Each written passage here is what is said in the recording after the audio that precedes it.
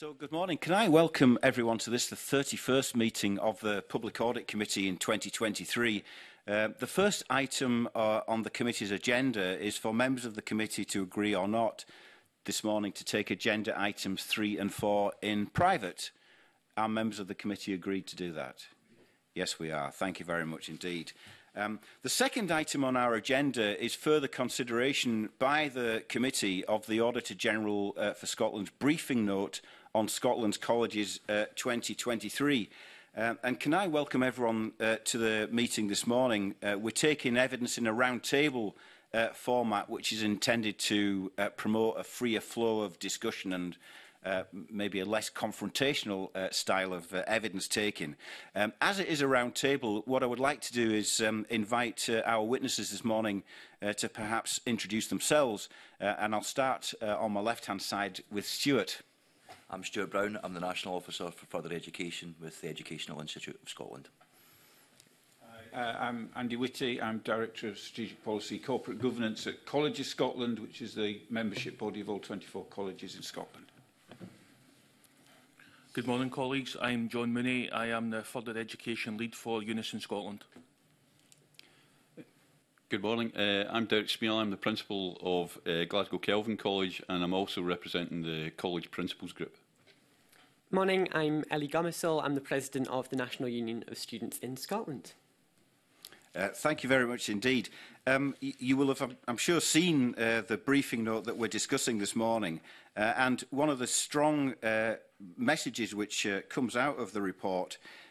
uh, is a, a, a concern around the financial sustainability uh, of the uh, college sector, um, I think the expression that was used by the Auditor General when we took evidence from him was that there were real viability issues.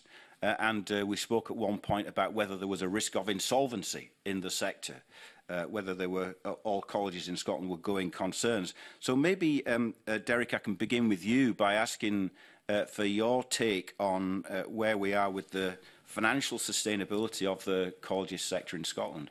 Yes, thank you, uh, Kivuna. Um, the terminology we're looking at here is sustainability. Uh, I would like to introduce the, the, the term stabi stability, because eh, uh, often when I'm uh, discussing, for example, with boards of management, etc., we're talking about stability really in the, the, short term, and that's what colleges are focusing at the moment. Colleges and the college sector are certainly not sustainable as they are just now, and I think the Auditor General has, has explained that and put that Uh, uh, before you uh, already. The situation is, unfortunately, the, the only uh, um, people who can give evidence specifically about the whole sector and give you specific details would be the Scottish Funding Council who collate all that information. But I can certainly furnish you with, for example, examples from my own college, but also uh, discussions I've had with with uh, uh, fellow principals. To put the situation in context, um, We're not approaching a difficult situation. We're absolutely in the middle of it. So we're one year into it of a, a three-year uh, situation uh, just now. If I gave you an example of my own college, I would describe my own college as, uh, uh, of course, I would say a well-managed uh, college. However, it's financially stable. Uh, you, you used the term uh, insolvency or negative cash balance. Uh, we're certainly not uh, in that position uh, going forward. However, to reflect on a little bit of the previous issue and the situation we're in just now. And I think it's important for us to reflect, and the, the Auditor General's report is talking about the academic year 21 22. Uh, obviously, just now we're in 23 24, and we're just uh, finalising the, the, the financial figures for 22 23. And I think there was a conversation about the, the reporting year uh, uh, previously that, that the uh, uh, committee discussed. And of course, in, in colleges, we report and submit our uh, accounts by December each year because of our, uh, our, our academic year. So, for example, for my, my own college, which is a medium-sized college, very much predominate, uh, predominantly in the northeast of Glasgow, so a lot of uh, SIMD, uh, 10 uh, and 20 uh, cohorts within it, uh, and very much uh, um, community-based. So in academic year 2021, we were on a, uh, a surplus position of 0.9 million. Uh, in 21-22, by the end, it was 1.1 million. And the reasons for that was to ensure we knew a storm was coming, so we were actually making ourselves financially stable. However, the, uh, the, the, the accounts that are being finalised, which have not been published and won't be published until the lead before Parliament, our uh, projection there for 22-23 is a deficit of 1.3 million. So typically that's what's happening. Uh, and members might ask, what, what has caused the, the, the sudden change? Well, we know about massive inflationary costs uh, that have uh, ongoing across the board, but also the big hit there is the severance costs because I am downsizing. Another element, what is the consequence uh, of that? Well, uh, for 22-23, I have already uh, released 6.5% of my workforce and over the next two years it will be a similar amount. So by the end of the three-year period, so by the end of academic year 24-25, I will have reduced my workforce by 20%. Uh, and that's the projections that we've actually got. Why is that? It's the only way that I can remain, I won't use the word solvent, but in a positive cash balance. Uh, because I'm aware there's various technical terms that perhaps a public body can't technically be uh, uh insolvent. Uh, so is there a danger of colleges uh, becoming uh, moving into a negative uh, cash balance at various times, yes, there's an enormous pressure on, on cash flow as far as that's concerned. Uh, and effectively, it is because of the, the real terms reduction uh, relative to, to rising costs. thank you for that opening. And uh, we will be taking evidence in the new year from the Scottish Funding Council. Um, uh, but we do uh, note that um, I think the Auditor General, uh, in the evidence session we took with him, was able to tell us that uh, from uh, the year in question, I think three colleges out of 24 were in deficit. That had risen to nine.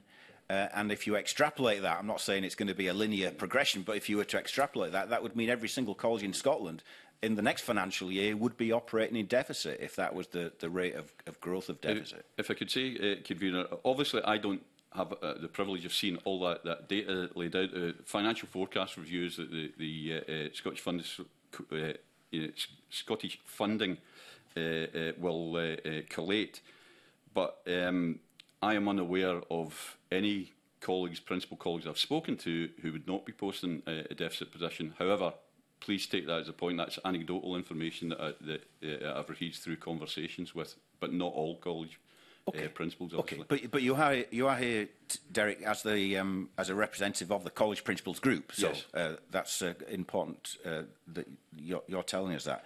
I'm going to ask Stuart because uh, workforce has been mentioned and the reduction in workforce, and one of the points that's made in uh, the Auditor General's report is that whilst um, on the whole uh, the public sector workforce has grown. Uh, uh, by contrast, in the further education sector, the workforce has contracted. Um, so I don't know whether you want to comment on that or any of the other points that Derek Smeals uh, um, introduced. Thank you, Convener. I'll maybe turn to some of the points Derek made uh, in a moment, but in terms of staff costs, and that's how it's framed in the Auditor General's report, I'm a bit concerned about the framing of staff costs as the biggest financial pressure. Colleges are educational institutions. Staff are their greatest and most important resource. There's no learning without lecturing staff, who I represent and there's no learning without the professional services staff that John and his colleagues represent.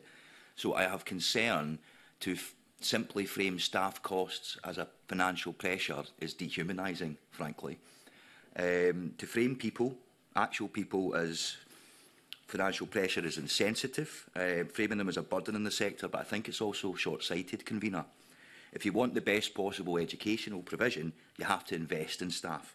You have to invest in their terms and conditions and their professionalism.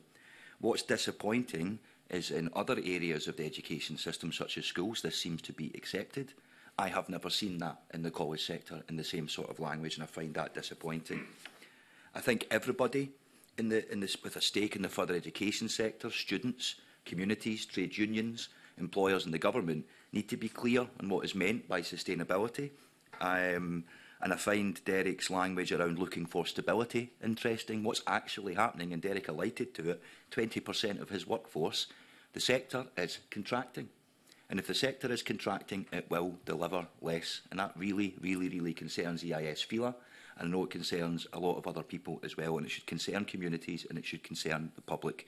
Colleges cannot deliver more with less. And that is concerning.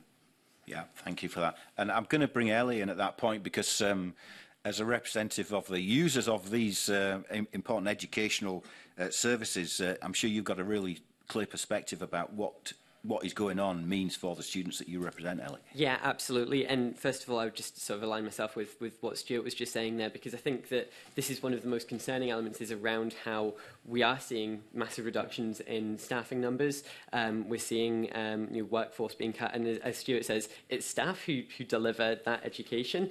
Um, you know, there are lots of things that you need you know, in order to have a, a, a college and in order to have somewhere that can deliver that education, but none more important than the staff who are actually there to deliver that, that learning. So it's really concerning to uh, students that we are seeing um, those cuts. And, and again, this is um, something that it's not just, I mean, in terms of the students who are currently studying at, at college, um, see some of the, the cuts uh, in terms of um, you know, sort of teaching staff um, incredibly concerning, but we're also seeing um, things like disability support. For instance, there's disabled students actually more than any other group who are coming to me and saying how worried they are about um, their college experience moving forwards because they're seeing the cuts that the disability services, for instance, are receiving. Also around things like um, the student associations, which naturally for myself as, as uh, the NUS president, I'm very, very much uh, supportive of. But good student representation and student uh, partnership in terms of how students are able to feed back and shape our own education is absolutely critical. It's something that I think thus far, I in Scotland, we've done a really, really good job at. Um, one of the, again, main places that we're seeing cuts is within the student associations, which of course are funded by the colleges themselves. I mean, there are some student associations that are now down to one person who is both the elected student rep and essentially that the full, that student that that own student's full-time staff support as well um, whilst also taking on another role within student services within the college as well and that's the entire representative body um, for for students and that's that's really not right so it is um, incredibly concerning I think there's also this point around how just how important colleges are to to Scotland and to local communities colleges are community organizations. They are the backbones of so many local communities. And so I think the fact that these cuts and this, I, I think it's fair to say, managed decline of colleges in so many local communities. I think the message that that sends to those communities is an in incredibly concerning one. Um, and we know that colleges are much more likely to be attended by students from um, areas of, of multiple deprivation, students from backgrounds who otherwise would probably not access post-16 education. And so, again, the fact that it's colleges who are constantly um, facing this, you know, cuts year after year after year, um, colleges which are being really chronically underfunded. I think the message that that sends to those from our most impoverished communities in Scotland uh, is a really worrying one. I mean, Ellie, can I ask you, because um, this was something, again, that we raised in the session with the Auditor General. Um, the uh, new government slogan is uh, equality, opportunity, community uh, how does that prism fit onto what's going on in the further education sector? Well, I think this is just it, is that actually that, the slogan is, is a perfect descriptor of what colleges should be there for. Um, colleges are all about um, improving equality and improving opportunities for people across Scotland. It's about um, you know, education as as an inherent as an inherent good. Like education is a good thing in and of itself in terms of um, people being able to go and learn and improve um, their futures. Often because of that, we know that colleges are absolutely critical in terms of lifting people out of poverty, and we know that colleges are critical community organizations. So the fact that we are seeing these cuts is, is really, really concerning. The fact that it's something that is almost accepted as like a norm now. And I think also that that's worrying because I think it puts some people off. People are seeing um, that the support that they would expect whilst going to college, whilst going to um, you know, engage in post-16 education um, is slowly rolling back um, and is slowly being cut away. And people can, can see that. And it means that there, I think there are students who otherwise would go to college who might not be or who might not be getting uh, for instance the the experience and the grades that they deserve um, from their college experience so i think that's really worrying as well and i think this is also important in the context of you know we're talking about sort of the, the funding of colleges as bodies themselves at the moment but but students as well need funding in order to be able to access um, college and the rates of student poverty that we're seeing in the college sector are it, it's really horrific. I mean, we're seeing really worrying levels of student poverty in the university sector, but in almost every single metric, college students are, are getting a, an even worse deal.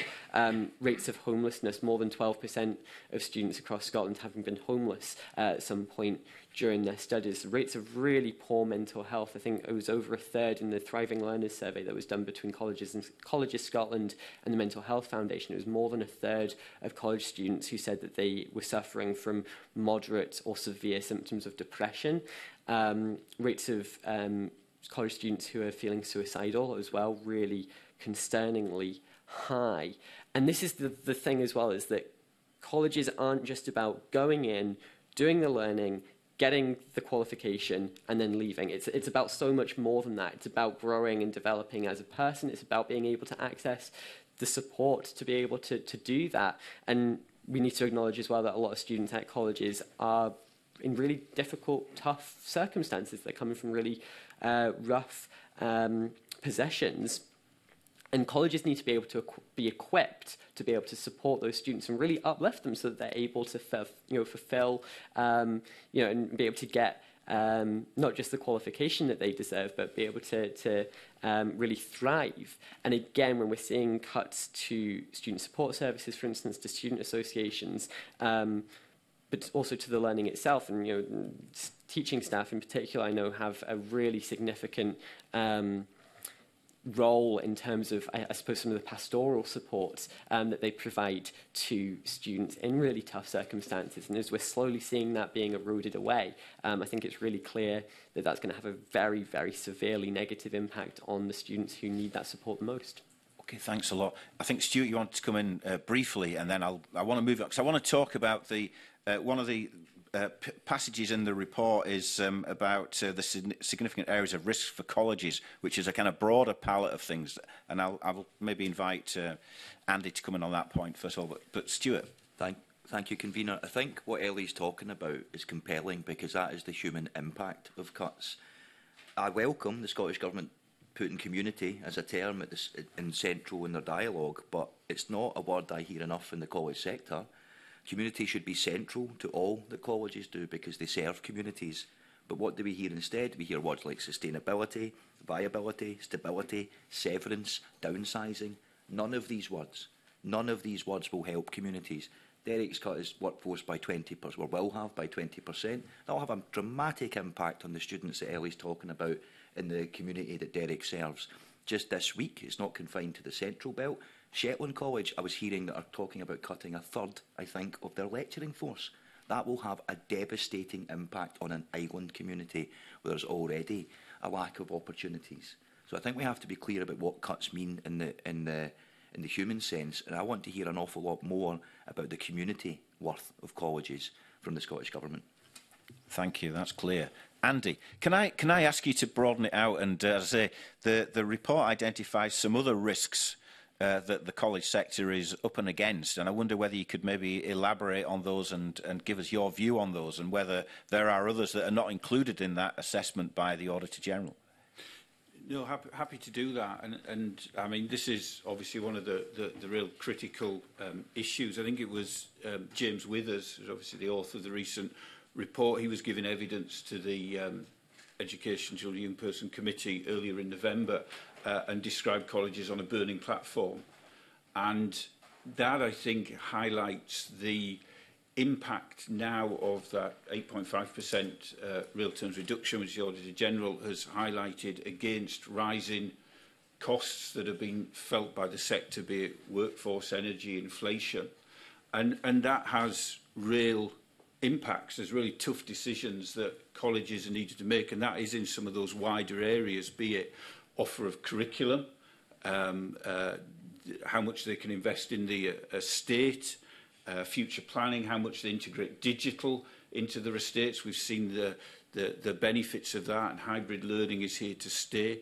Uh, uh, and inevitably, workforce as well. I think the, the, the Auditor General said there was difficult choices about workforce uh, that colleges could afford. Now, colleges don't want to cut the workforce. Um, but uh, you know we recognize that that that narrative and the evidence the auditor general uh, has given. What what we're in this um, burning platform. We've got to get through this particular moment to then gain the benefits and the opportunities that some of this more medium and long term um, that, that sort of laid out in some of the recent reports that that could uh, deliver.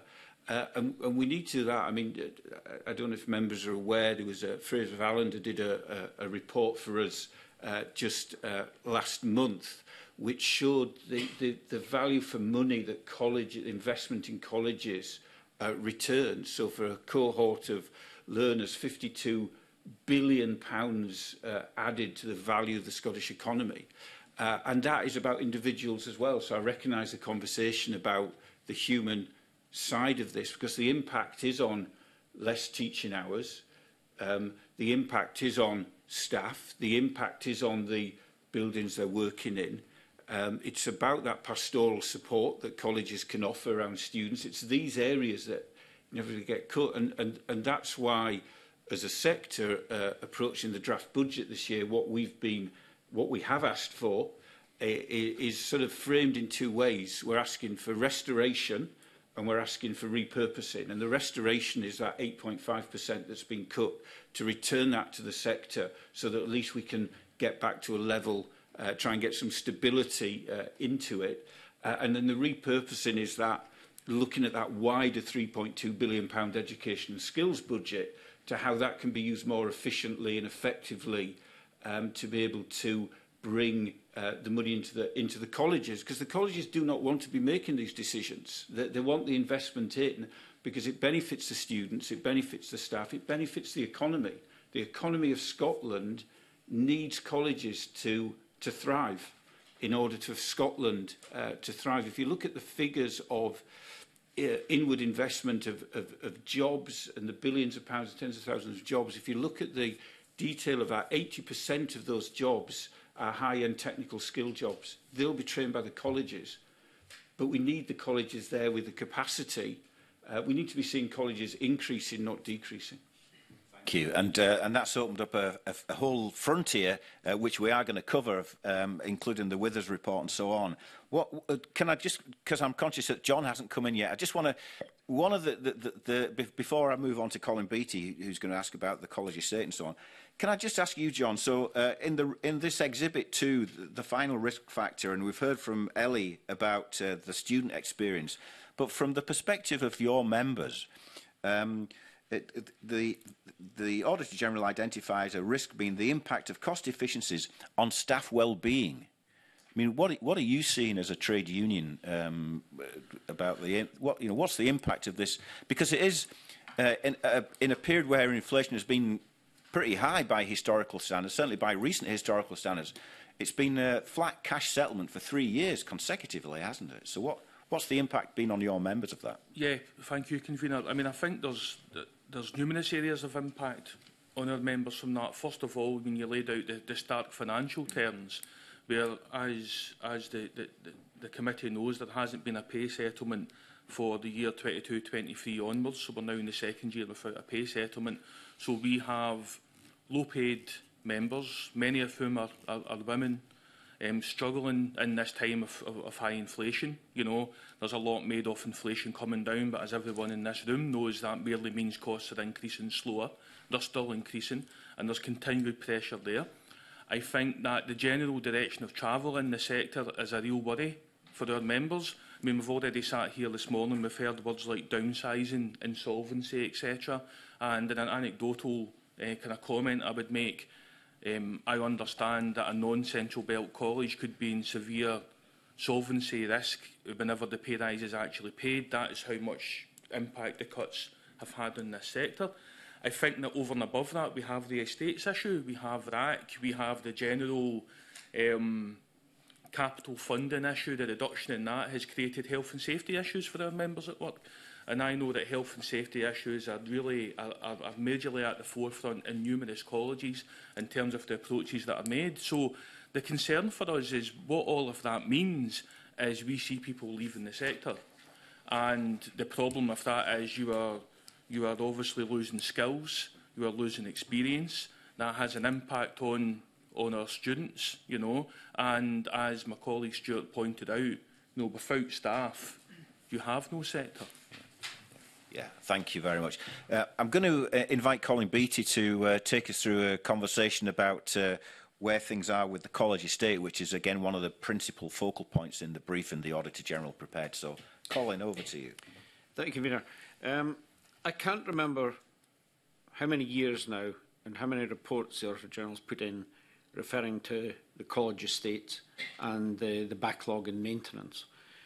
Um, looking at the briefing the Auditor General has put forward, the one thing that's perhaps missing is the, uh, some sort of risk assessment of the total backlog, which would have been perhaps useful to get information on. Uh, but the total backlog, if you look at it, 321 million, that's an awful lot of backlog.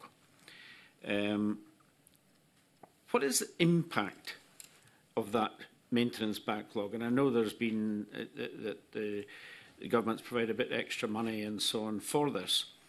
But what is the impact of that maintenance backlog and the, the learning and, and the working environment uh, of colleges? And Andy, maybe I can ask you to. Yeah, no, th thanks. No, you're, you're absolutely right uh, in, in the, the figures you're highlighting and that uh, gap in funding that there's been for the infrastructure, which obviously is of significant concern uh, for the colleges. I mean, to be um, clear. That, that funding gap is about making the buildings wind and watertight. That's what we're talking about. Um, before we even get on to the elements around reaching net zero and decarbonising by 2038, net zero by 2045. And so the impacts are around the conditions that um, staff are working in and that students are learning in. And so, yeah, there's, there's, there's uh, making sure there's safe environments for both staff and students. It's about that student experience as well. And, um, you know, the, the, the, there are some good examples of, of college estate where there's been investment, but it's just not consistent enough. There, there are places you can go where tens of buckets are catching the rainwater every time it, it rains, and the students are having to learn in that environment, and the staff are having to work in that environment. And um, you know, that, that probably contributes to some of the well-being elements that you were talking about.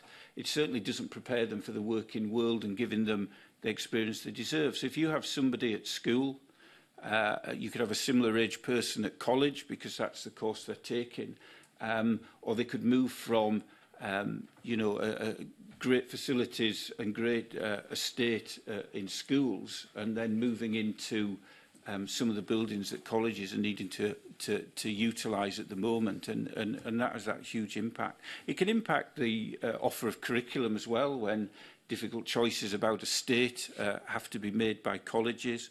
We saw during, obviously during COVID, uh, learning was all online. That doesn't really work for some of the practical subjects. I'm sure you can uh, appreciate that. But hybrid learning, uh, I think, is here to stay. So some of that digitising and getting the estate up Uh, it's not just about the physical buildings, but it's about the digital uh, elements around that as well.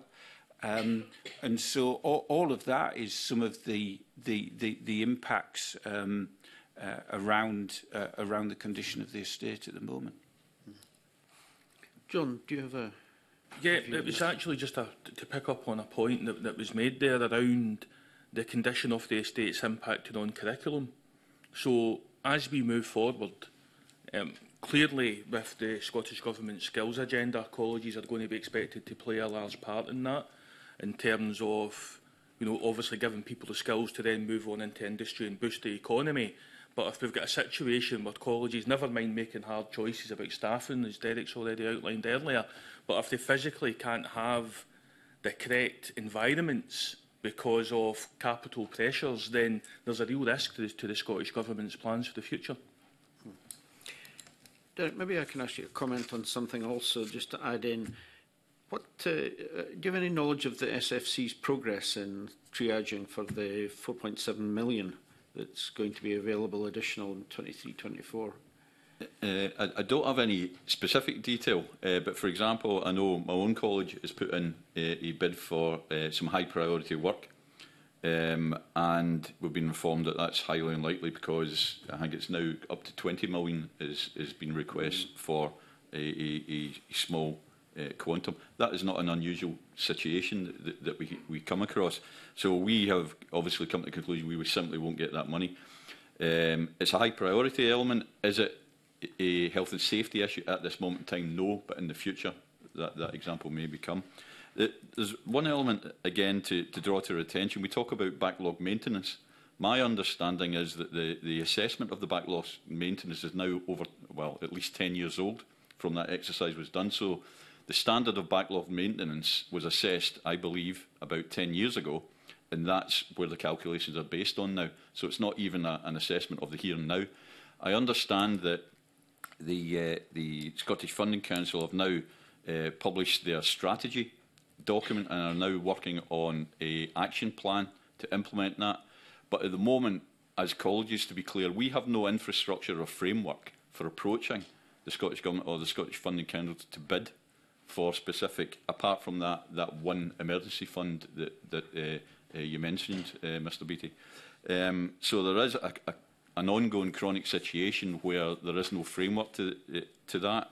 The monies that were provided are for backlog maintenance, but it's only red uh, level backlog maintenance, not the full backlog maintenance. And again, I, I, I mention again, uh, my belief is that the, the, the assessment was over 10 years old.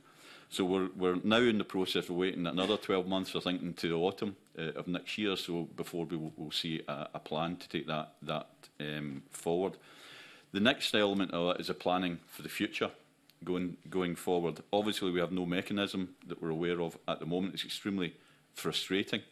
Um, and as Andy just mentioned there, the, the, backlog maintenance we're talking is simply to keep it watertight and capable to, to carry on.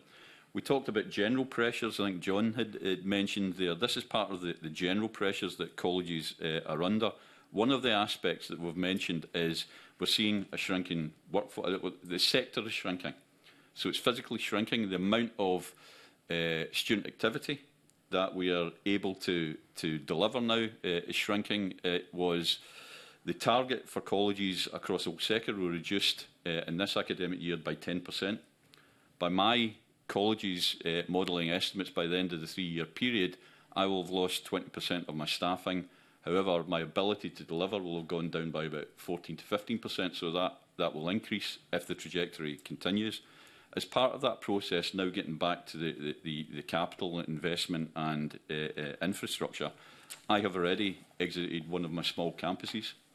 So that is seeking to be uh, disposed of. I will now get no proceeds from that whatsoever because it's a public uh, asset. But again, it's part of releasing me from the burden of maintaining that property and so on and so forth. So these all come together uh, uh, to accumulate an additional pressures. A very important point that I would like to pack, uh, pick that Andy mentioned is digital investment. I find it almost impossible to do any form of meaningful uh, investment digitally, be it hardware, infrastructure, or software uh, development for the future of learning and teaching, which is a big concern. I have colleagues uh, that are that are like coiled springs with innovation, trying to move forward. I find it difficult to release them as far as time is concerned because of financial constraints And obviously, because of the lack of digital budget uh, for development, which is part of the infrastructure, again, moving forward is very, very uh, challenging. So it's a great, great concern that it will be another 12 months before we actually have a plan to then respond to that, that strategy. But at the moment, we're in a desert at the moment. It's probably worth noting, in addition to the 4.7 million, there's been an increase of 7.6% in the sector's capital funding, But in actual figures, of course, compared to the backlog, that's still relatively small. It, uh, it, uh, one of the elements, I mean, obviously I don't have the facts in front of me. We, we must be cautious because, for example, if there's a single new build in the whole sector, that money skews the, the, the total capital investment where you've got one college perhaps, quite rightly and deservedly, might be having a, a new build, but it appears that there's a significant investment across the, the sector, which, which isn't the case. Oh, so you too, Mr. Beattie.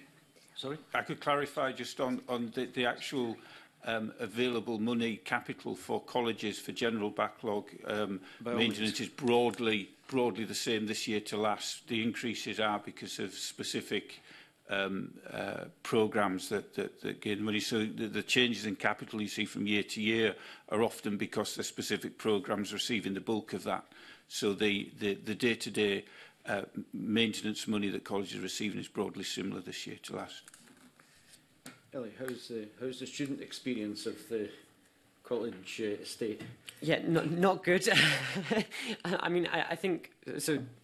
picking up on some of the things that, that have already been said, I, I mean, I think one of the, first of all, challenges is that there's a bit of a postcode lottery.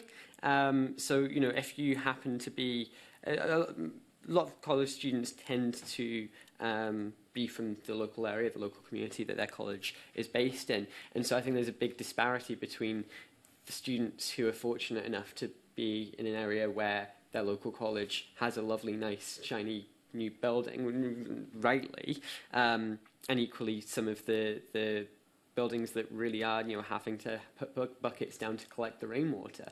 Um, and I think this is the really concerning thing. And I think also you know, just picking up on some of the things that Andy was saying around you know th- the impact that that has on you as a student if you're in a, a classroom that is drafty, that is uh, cold, damp, um, you know, that's, that's poor quality, poor condition, I mean, the, what that does to your, your physical health, let alone your mental health, um, is really, really poor. And I'm sure it's the same for, for staff as well. Another thing I just wanted to pick up on, again, picking up on something that, that Andy said, which is again this disparity between perhaps your experience uh, if you are a student at a school versus a student at a college, but also if you're a student um, at a university, for instance, and you might be doing this, you could well be doing the exact same course or, or a very similar course, a very similar qualification at a university compared to a college. Again, colleges typically tend to be students from more impoverished backgrounds, uh, students from you know areas of multiple deprivation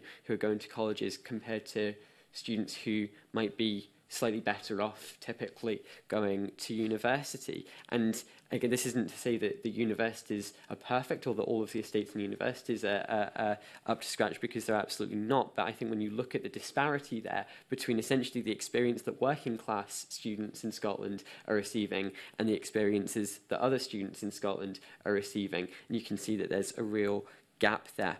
And the last thing that I just wanted to, to pick up on was around and this is slightly tangential, but I think it's still relevant, is around the importance of, you know, especially as we've come out of the pandemic, you know, we're going back to, to in-person uh, teaching, or sort of that hybrid model.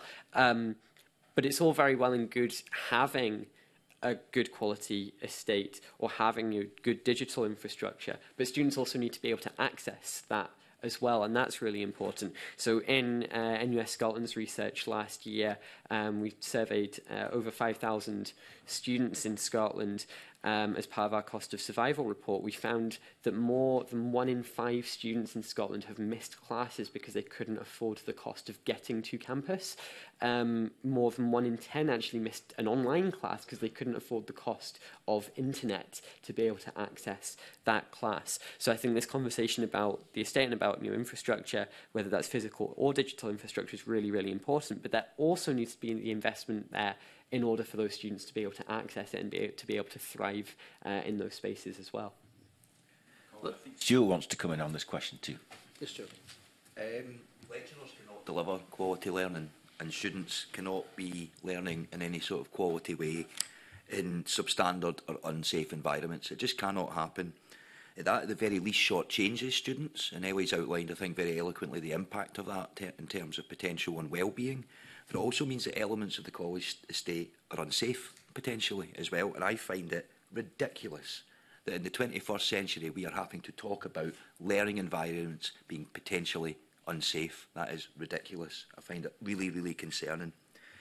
The fact that um, it will be, what, autumn 2024 for the publication of the infrastructure plan, that's a long time.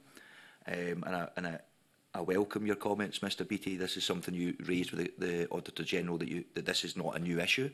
Derek's talked about 10 years since the, the last valuation on it. That's concerning. Um, this is a massive strategic issue for the sector, a massive strategic issue for the sector, and it's a health and safety issue as well. And I need to make the point that we want to work with college employers to try and address this issue, and we have tried repeatedly over recent years to establish some sort of national discussion on health and safety and be blocked at every turn. This discussion here is why we need to have that sort of forum and that sort of discussion with the employers so we can work together to try and face what is a monumental challenge. But just to reiterate, in the 21st century, we should not be talking about unsafe learning environments. That is ridiculous. Can I ask perhaps about the elephant in the room, RAC? I think, John, you mentioned it earlier on as, a, as an issue. Mm. Um, how big an issue is it? I mean, I'm aware that uh, RAC, if it's properly maintained and all the rest of it, is actually not a problem. It's only when it's not properly maintained that it becomes an issue. Andy. Th th thanks. Uh, on, in, in regard to RAC, just to um, give the committee some sense of um, scale, of the 24 colleges, seven uh, have identified RAC in some part of their uh, estate in impacting 11 buildings or parts of buildings. Um, th of those, four have either uh, been closed partially or fully in, in order with that, but there's other mitigations uh, in place uh, around uh, monitoring, uh, survey, surveys have been brought in, uh, risk assessments, um, working with the um, Scottish Fire and Rescue Service for uh, evacuation uh, if there was a fire, elements like that. So that's where uh, the position around RAC, course, what RAC has done is brought an additional pressure. All of these figures that we've been mentioning do not take into account RAC because they were all, uh, as I said, several several years ago. And, and, and one of the issues of the estimates we're talking about is the, the, the estimate from the last estate condition survey, which was almost 10 years ago, um, was 360 million over the last five years. Now, that, that's passed now. And of course, with inflation and construction costs, um, they're, they're looking at redoing that survey. But as, as, as Stuart said, it's going to be next autumn before we get that investment plan, which is the really key element to be able to see what the pounds and pence uh, add up to across the uh, across the college sector in all, all of this. And so there's that strategic element, but there's the human element as well, which has been clearly outlined as well. And, and I think part of that is around um, parity of funding. So you mentioned universities, I've mentioned schools. Um, You know, I think there's figures that SPICE have produced, have been in parliamentary answers, where the inequity of the funding per student between school, colleges and university. And so equity of funding and indeed uh, uh, yeah, that, that parity of funding, equity of funding, and also the, that parity of esteem as well for colleges, I think is, is all part of that cultural mix that needs to be addressed here in order to find solutions and a, and a sustainable way forward just to be clear on, on what you were talking about earlier about RAC, yes. we have no idea of what the cost of rectifying issues with RAC are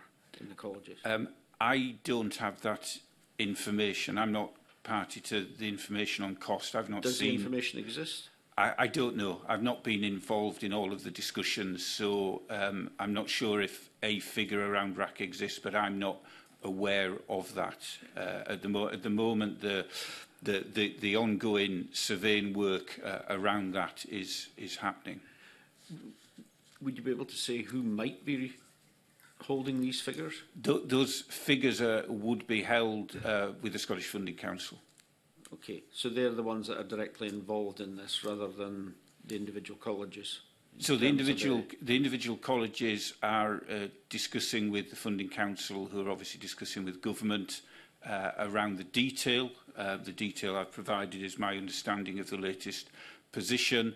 Uh, we as a sector body have been engaging with the Funding Council and Scottish Government about seeking and ensuring that the finance is in place uh, to uh, pay for these. Uh, but I don't have a, a figure of what the total costs may be at this point in time, Mr Beattie.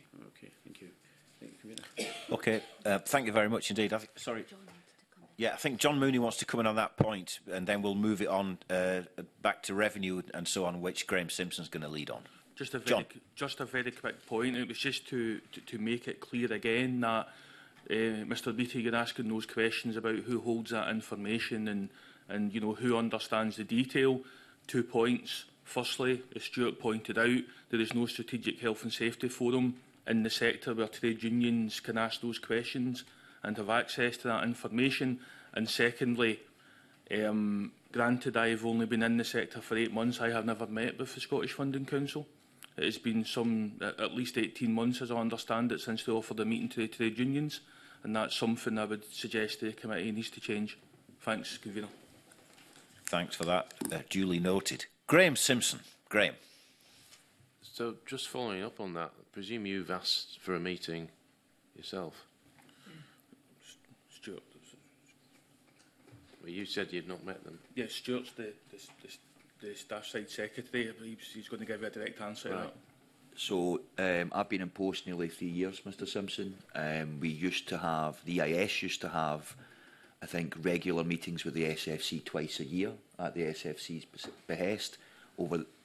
the last two and a half years, that has dried up and they've not been happening.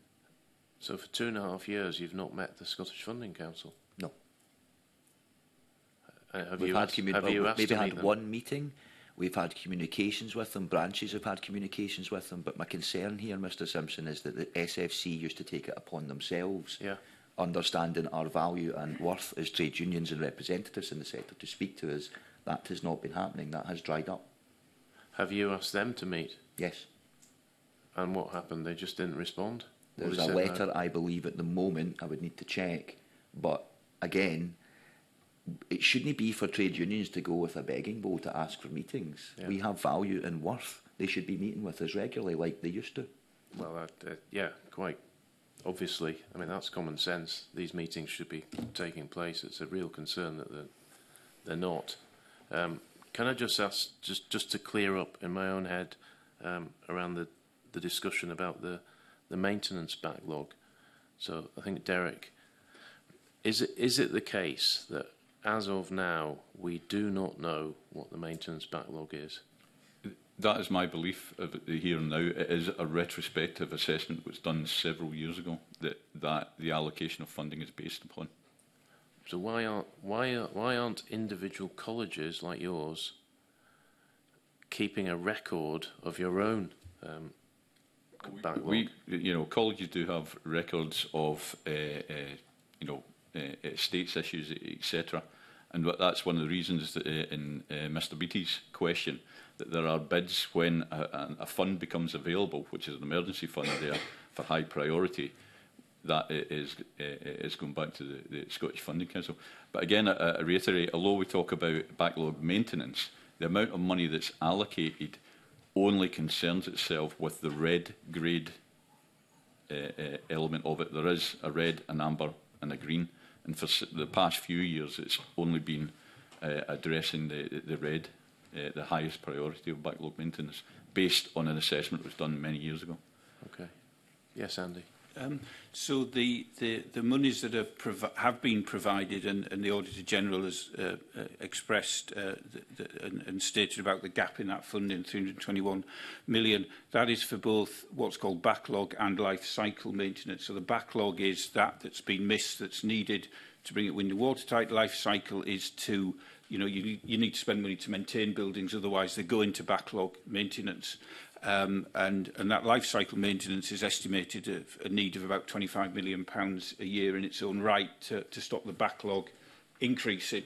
And so when you look at that, so the estate conditions survey, which was done several years ago, um, that was just looking at what was needed around backlog maintenance to make it wind and watertight. On top of that, you have ongoing life cycle maintenance. But the gap that uh, the Auditor General um, has identified is that gap in funding – uh, that the, inf the, the infrastructure state is, is, is needed. So it's, it's, as you, I mean, it's a huge figure. However you cut it, it's, uh, it's, it's that huge figure uh, uh, around making sure that the buildings uh, and the facilities are up to basic standard um, that you would want people to work in and people to study in.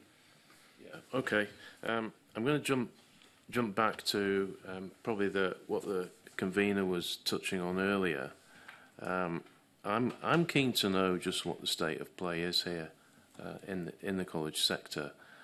Uh, we know from a previous session that the Scottish Funding Council keep a register, like we'll call it a risk register, um, of where colleges are, and and there are some some colleges, around about five or six, um, are colour coded black.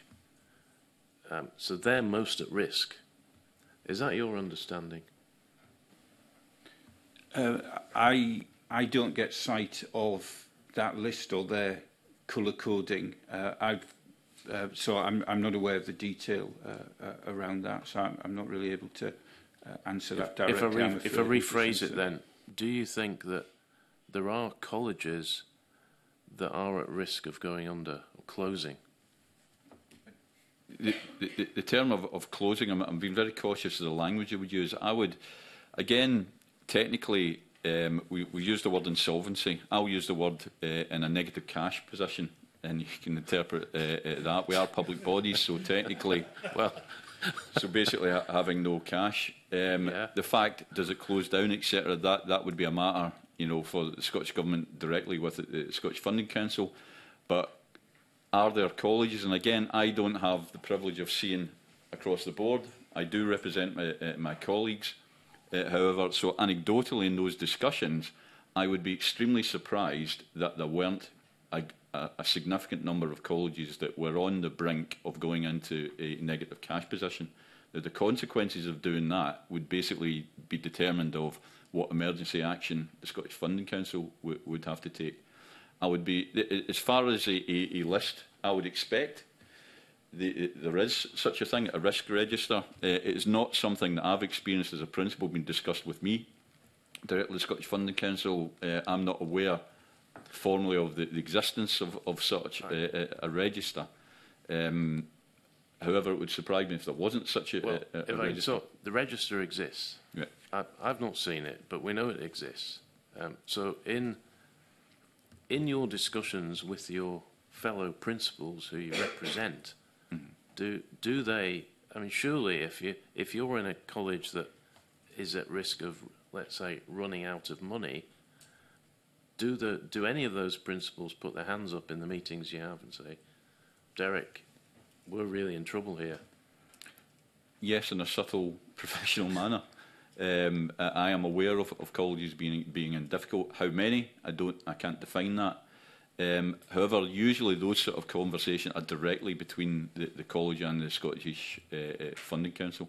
Because again, I, I mentioned it, it depends on the, the response from the Scottish Funding Council, exactly what the, the situation. There is one phenomenon that's interesting because um, cash flow is absolutely critical here. Eh, and colleges are under enormous pressure eh, in managing those, those cash flows.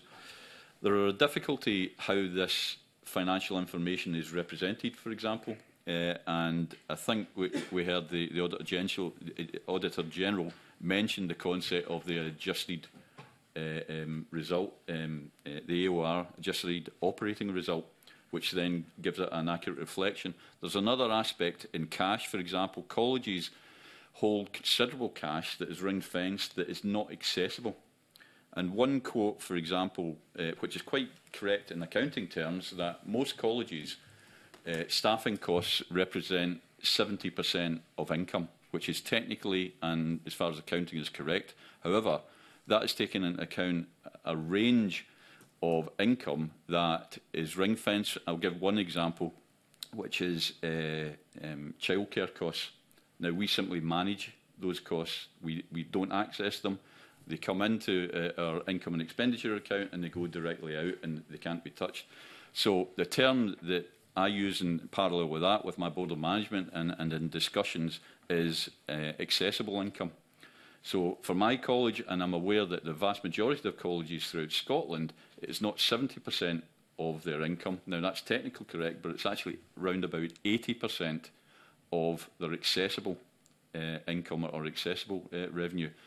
And the other aspect of the, the cash balance, we hold these special amounts of cash, student funding cash, of which we're only custodians. However, it shows in our regular uh, uh, updates to the Scottish Funding Council as far as cash flow is concerned. But to be clear, we cannot access those. They are completely uh, ring-fenced.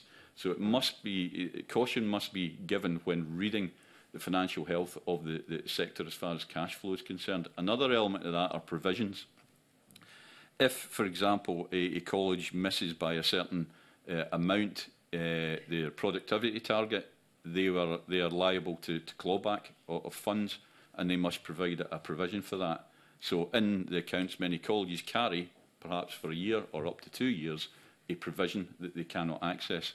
So it does concern me a little bit that the picture can be skewed if you're not clear about those aspects, you could be looking at a college that looks as if they're solvent, for want of a better word, on a mm. positive cash, but in reality they're in a negative cash mm. position. I think, John, John you want in? Yeah, just to pick up on a couple of comments um, from Derek there, I think. I think firstly I've got to say we're sitting here in a committee of MSPs, principals, trade unions, student representatives and none of us have seen this register, this risk register. And I think that it, really it ties into the long-standing trade union points about governance in the sector and also links to issues that we've had in obtaining financial information that we've been asking for some time, um, despite the fact we'd obviously recognised trade unions. So I think I need to make that point. I think that whilst we remember that we therefore haven't seen this register mm -hmm. um, and have issues with obtaining some information, I think the general direction of travel in the sector Severance is at an all-time high and always increasing. Compulsory redundancies are now on the table in, in various places. I think that demonstrates the, the kind of financial pressures that colleges are under. And as you know, and has already been mentioned, a couple of situations here. There's a developing situation in Shetland, and I'd yeah. mentioned another college who are, um, you know, open within certain spaces about the fact that when the pay deal goes through, they're in serious trouble. So Yeah, I think yeah. The, the sector's in a, a, a really bad place at the moment, Mr Simpson. Okay, um, I'm going to ask, uh, I know Stuart wants in, but I want to explore, um, and you may have something to say about this, Stuart. You know, how many job losses do you think we're looking at in in the sector? We've heard about a couple of colleges um, who are who are cutting, but do you see that across the board? Um, so I'll like Stuart wants to come in. Yep. The short answer to that is yes the sector the sector is shrinking, as Derek says. And I think if I'm, we're going to talk about job losses, we have to be clear what job losses mean. Certainly in lecturing terms, every job loss is a cut to educational opportunity for students. Yeah. Uh, so to speak about job losses in silo is to ignore the human impact. I know that support staff, professional services colleagues are experiencing the same thing. I think we have to be honest about what's going on in the sector. You asked about what is the state of play. The college sector is in crisis. This is a crisis, and it has been a crisis that has been developing for years, and we are now in it.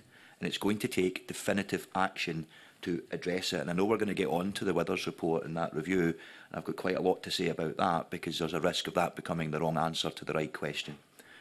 The college sector is in crisis. The EIS and EIS FILA have been saying this for months. We wrote to every single college principal and college employer Scotland to ask them to publicly back us for an emergency funding package. Not one reply. Not one. That's really disappointing to say the least. The leadership of this sector need to stand up with us and call out what's going on. We need to address this together. We need to bin the adversarial nature that has become the culture in this sector and work together to address the crisis because that is the only way, the only way they were going to move forward without a devastating impact of cuts, of job losses, of cuts to cost provision that affects communities up and down Scotland. And I think we have to be plain about it. To not recognise the crisis in colleges is to not recognise reality. Andy.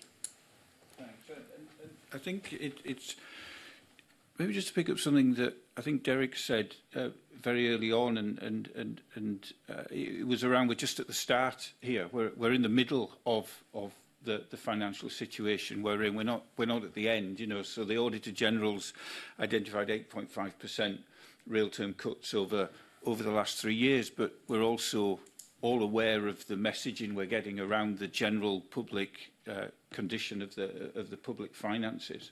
And so, um, you know, looking at it, um, collectively it's around, well, you know, what next? Are, are we here next year and it's 10% uh, overall cut? What is it the year out? Because we're, we're, we're not at the end of, of the challenges and that's, that, that, that's my concern. And, you know, we've, we've uh, heard expressed and understood this morning the impacts on staff, on students, on the state, on the learning experience, on equity of, of, of, of access for people from that. And, and, and again, that's why um, uh, collectively as a sector, we're, we're looking for that restoration as well as repurposing because you know, we, we see the opportunities of a growing sector. And, and the paradox is at a time of um, being on this burning platform is, is the very time Scotland needs colleges to provide the workforce, to drive the economy, to, to, to, to, to, to help grow, help increase productivity. Um,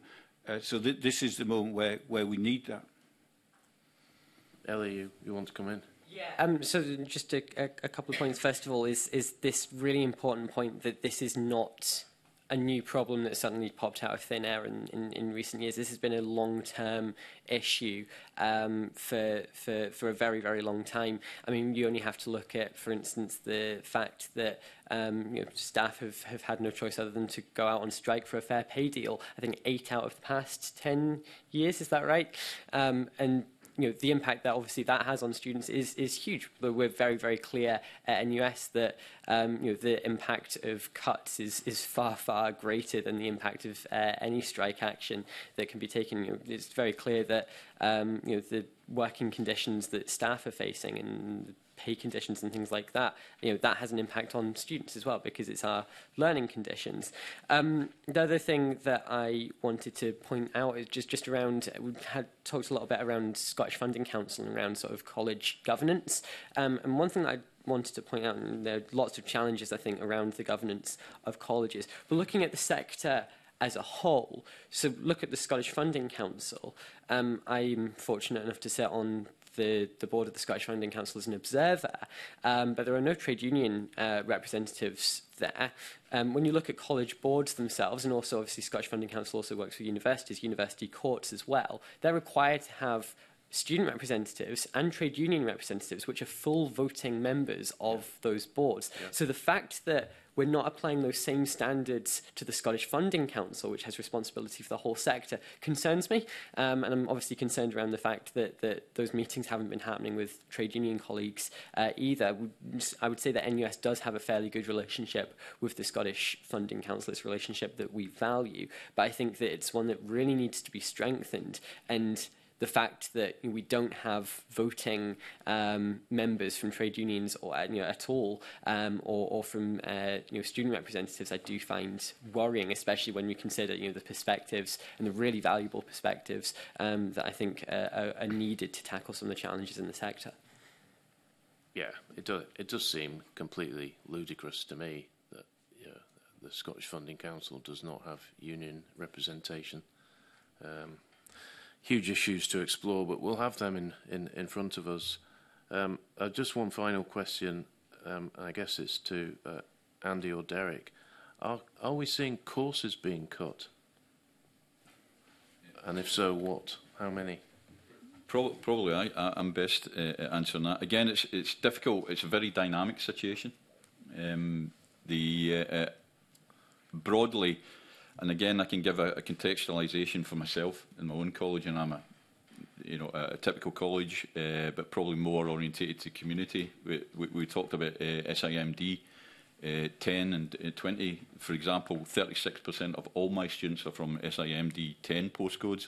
If you take that up to SIMD 20, it's well past 50%, between 50 and 60%, so it's a substantial uh, amount. So what, what's been happening, there are things happening geographically there's consolidation of courses. And what I mean by that is class sizes are getting larger. So the, the ratio between teaching staff, and that's all about trying, what we're, we're trying to do is keep the impact as far away from the student as possible. Uh, however, students are affected by it. So what does that mean? It will mean restrictions in choice. So where you would have had uh, choice at an entry level, instead of having three choices within an engineering landscape, it will be a generic engineering the class sizes will be larger, etc. The different campuses across from within one college or amongst colleges will be less, more restricted. Again, we will try and work together collegiately to make sure if you can't gain it here, at least you'll be able to gain it four miles away, three miles away, whatever. However, the whole principle is to uh, have it accessible at place, and that's particularly important for my own college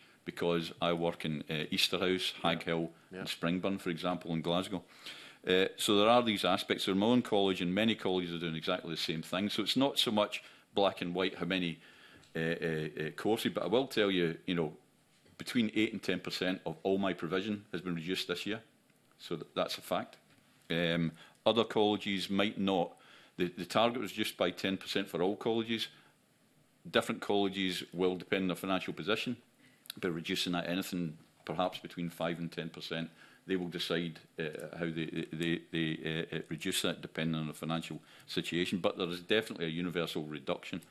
But that manifests itself as restricted streamlined choice, also restriction in geographical distribution. In my own college, that has manifest as I, I had four campuses, three large and a smaller campus. I've now closed down one of my, my campuses uh, for that reason of, yeah, of affordability. Um, so they are definitely uh, reducing. What we're trying to do, uh, again, is prioritise particular areas of, of demand, of need through employers economically, but also socially as well in communities, which staff are doing extremely well as far as that's concerned. But yes, categorically, there is across the board in Scotland a reduction in activity, a reduction in choice, uh, and class sizes are getting bigger, yeah. uh, as far as that's, that, that, that's concerned to, to offset those, those uh, costs. Can, can I make one, and it's some, something that, that Stuart had brought up, and, and to be clear, that pay disputes, for example, and the settlement of pay disputes are not the cause of any crisis situation we're in. The cause of the crisis situation is long-term chronic underfunding of the sector. And Ellie's absolutely correct. This has been going on for years and years and years. And it's now got to the situation where when we talk about efficiencies, there, there is no fat on the bone. We've been cutting into muscle for several years now, and now we've got to the extent where we're actually downsizing. And it's the only way that we can actually remain solvent, for want of a better word, uh, for it going, going uh, forward. So that is what's forwarding. I am making no choices to reduce my staff based on pedagogy uh, or any other means. It's purely because I simply don't have enough money to pay the pay bill. It's as simple as that. And it's not the dispute that causes the problems. It's not asking for a, a, settlement if we leave to decide if it's appropriate or it's not. Mm. That is not what causes the problem. It's a continuous uh, underfunding. And, and again, I'm part of the uh, national uh, negotiating uh, machinery and have been for the past two, two and a half uh, years. That is one of the major uh, frustrations. There is much that colleague, union colleagues here and I will absolutely agree on. Mm -hmm. um, however, we come to an, an impasse because it's my duty, my responsibility to remain solvent, uh, uh, obviously. Uh, however, that is where the, the, the paradox comes in. And this isn't the first year. This has been going on for several years. That is why we're in continuous dispute well, not continuous dispute, I exaggerate a little bit, but we've been, you know, in long-term um, uh, dispute over the years. It's caused by the, basically we simply don't have sufficient funds for the expectation of the output. Yeah. And now what's happened is, as far as I'm concerned, the dam has burst, and there's been a realisation we cannot accept this, expect the same output for the amount of money that's, that's available. Hence, there has been an overall reduction in the target for colleges. Stuart. I'm going to start with what I agree with with Derek, um, and that is that I don't think the majority of college leaderships want to be making cuts. I think some see it as opportunities for something else, but I believe Derek when he says that it's not pedagogical or pedagogical reasons that you're making these choices, that you don't want to be making them. I also agree and I welcome that uh, pay deals in of themselves are not the problem because College Employers Scotland in public communications quite often like to remind our members that they're the best well-paid lecturers in the UK. Well, how are they? It's because they've went out and fought for it eight times in nine years. That's why. So I welcome that sort of dialogue, and I would welcome more of it from uh, College Employer Scotland, frankly. What I don't agree with with Eric, and we have we can disagree respectively here. I think we need we're to be. No, we're not negotiating. I'm, I'm, going on to I'm going on to an education. Just clear about that. We're doing that this afternoon. Don't worry about it. Um, uh, and I hope it, I hope it's a fruitful negotiation. we all do. uh, hope uh, perhaps is forlorn, but we'll see. Um, I'm very, very clear that reduction of activity, downsizing, job cuts, that's cuts to provision, that's course cuts. yeah. let's be honest yeah. about what yeah. that is, and we have to be honest. That's crisis point. Class sizes being bigger, that's not the answer. There is not one shred of educational rationale you will find anywhere that says that enlarged class sizes are better. They never will be. And I say that as a former teacher. So I'm very, very clear that cuts to provision are happening and what is cut first? Community learning is cut first. Additional support needs is cut first. That's how it works. That's what happens. So the most vulnerable people in society are the ones that are losing out from mm -hmm. the cuts. Mm -hmm. Um, Graham, I think John wants to come in and then we're going to have to move it on, I think, because of the clock yeah. being against us. A lot of interest in this. Yeah, I'll try and keep it brief. Um, just following on for the question about how many jobs are going in the sector, mm -hmm. um, can't give you a specific answer, but I think that I was honestly quite alarmed because of Derek's College is reducing by 20%. I've yeah. got real concerns about what that means across the sector. Mm -hmm. And I would just quickly point out that between 8 and 10 colleges are currently talking to us or not talking to us, as the case may be, about reducing jobs. So that's what 40 to 50% of colleges, roughly speaking, that's the situation we're in over the last few months. Okay, I think um, as uh, Stuart called out and his organisation, I think we need to give him a right to reply before we move on. So, Andy. Okay, no, thank you. I mean, the, the, the point Stuart did raise that we don't want to miss is that, you know, Scottish lecturers are the best paid in all of the UK. Um, I think it was the DFM at the uh, weekend said that there was a relationship between headcount and pay. Uh, and she did make the point about public bodies that they would need to downsize their workforce. Now, as you've heard, um, and, it was in the audit, another uh, report by the Auditor General, um, further education is one area where the, the reductions have, have, uh, have already happened with that. But I think this is where that effective uh, and affordable workforce planning, uh, which again the Auditor General uh, is one of the recommendations there, is where we need to um, look at and take forward. Thanks, Okay, okay, thank you. I'm, I'm going to um, I know Stuart wants to come back in, but I'll, you'll have another opportunity, Stuart, before we finish up. But I'm, I'm keen that Willie's um, going to lead the next part of the conversation that we're having. Willie. Right, thanks, convener. Uh, one of the aspects of the Auditor General's report also looked at the college's ability to generate income from other sources, external sources, and so on.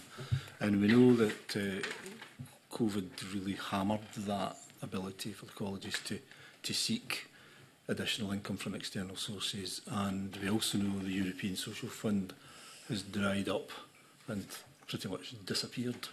I just wanted to maybe get a perspective from, from, from probably from Derek and from Mandy about what your thoughts about that are. Is there work going on within the sector to try to recover some of that activity at all? Could you give us a flavour of what that looks like and how you, whether you think that will be successful in the medium to long term and, and assisting to generate income from external sources? Yeah, I mean, I, I could kick off and then maybe Derek could give some examples um, from from his college. So Um, yeah, I mean, th th th this starts from the baseline that the funding for the sector that comes through the Scottish Funding Council is on average about 75% of the day-to-day -day funding of, of colleges. Now that does vary between college to college, but as a, as a, a broad average across um, the sector. Now the other 25%, some of that is also public funding, but it's through different routes, tuition fees and, and, and, and things like that. So there is commercial income within the college sector, um, but it is um, relatively a small percentage. Um, but that is needed um, not for the nice to haves, but actually the day to day running of So we've got public assets that are in public ownership, but uh, they're not fully uh, publicly funded. Um, the, the, the colleges do uh, generate commercial activity, and again, that will vary from college to college. It did stop during uh, COVID that is getting um, picked up uh, again, the um, to get to significant levels of commercial income, you're probably looking at changing the business model of a college where it's not then focused on learners and its and its core purpose uh, around that. But what colleges are doing is getting into partnerships and collaboration.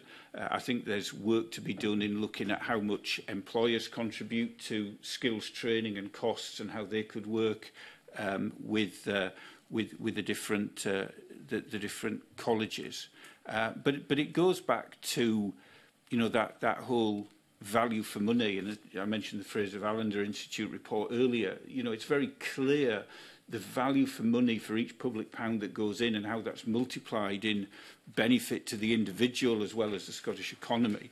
And so, um, you know, needing to find a, a, a way through this is, is, is really critical. Uh, and of course, in parallel with all of this, because of the um, structural setup of colleges, they can't hold reserves, they can't borrow uh, as well, which uh, adds to the, the challenge around it. But that, that's just a broad overview. I don't know if if Derek's able to come yeah, in with some it's, specifics. It, it's an interesting picture, and one thing I, I, I would caution uh, members, when you, you read the, the financial uh, uh, papers uh, in, in college uh, outcomes, etc., that non-SFC funding doesn't equate to commercial income, as Andy was, was saying, you know, Skills Development Scotland, other local authority to, to a lesser extent, extent etc. And of course, the fees of individual students coming through can be quite, quite sizable. Um, simple answer, have, have we uh, been working as colleges to, to bring that, that level of commercial activity? Yes, uh, we've been trying to drive that. But for example, the, the confusion that we've had this year hasn't helped on Flexible Workforce Development Fund, for example. The, fle the Flexible Workforce Development Fund has been a great success, um, especially when it's been opened to uh, SMEs uh, as well. Uh, I can talk about my own college in the Glasgow area and but across the board in general. It's been very welcomed. It's quite flexible, for example. And what that allows uh, as many companies to do is upskill and reskill and again funded through the Scottish uh, uh, Government. This year, uh, that money has not been forthcoming. we're now making the assumption within my own college that it will not be coming forward for this year, and that has been a great disappointment. But one of the aspects that we have when we're dealing with, uh, we, we deal with a lot of uh, SMEs, for example, and again, we're an SME built uh, economy. Um, SMEs often will sit and wait to see if there's to be any government subsidy because of the confusion and uncertainty there, we do know that we have some companies that will not engage at the moment because they're waiting to see will there be support from there. So one one element there that has caused us a bit of uh, difficulty going going forward. There is an issue, for example, with industry being the large companies and small companies contributing towards their own their own training. But again, that comes because of the confusion of the landscape, in, in my view and the view of many of my, my, my colleagues. Flexibility to me is the, the key word here. Um, again, trust in, in the colleges and institutions working extensively with uh, local employers uh, and industry bodies, uh, etc., to perhaps subsidise, uh, you know, uh, uh, dual fund priority areas, etc. I would suggest going forward is the way to go forward to assist in building that commercial element. pure commercial work as a proportion of almost every college's income is extremely small. We must bear in mind it's the, for reinvestment in the core business, it's only the margin. Now, that margin is only going to be at a maximum of about 20, 25% perhaps. I can't speak on behalf of all colleges, but it's comparatively small. The amounts of money that we are talking about here, and again, by my calculation for my college, and bear in mind I'm not a, the, the largest college, I'm a, a mid sized uh, eh, college over the, the, the uh, five-year period that we are asked to project of a flat cash settlement leaves a black hole cumulatively over that five years of in excess of £12 million pounds for myself, and my turnover is £33 million. Pounds. So just to give you a, a quantum of the amount of money we're trying to save, when you're dealing with aspects of that, the amount of money that we could expect to bring in commercial pales into insignificance, to be quite honest with you. But it is a very important uh, aspect for us to, to drive uh, uh, forward. Um, you, we do have exceptions within Glasgow, City of Glasgow College, over decades and decades of obviously nautical uh, e-, education is a worldwide uh, phenomenon, and some colleges do have you know these specialist uh, elements where they do uh, do well. But the idea of a commercial income increasing to a level that would really have any real dent in the, the financial situation we have now is, is unrealistic. But it's fit. But I do you know, emphasise a very, very important aspect, and colleges are doing every can, everything they can to, to drive that, that forward.